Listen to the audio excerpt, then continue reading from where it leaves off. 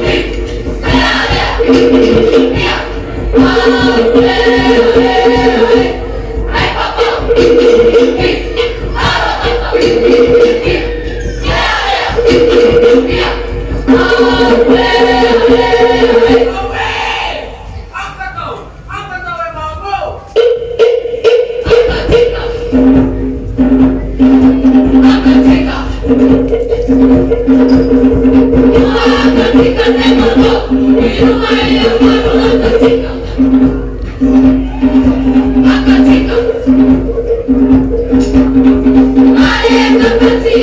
you.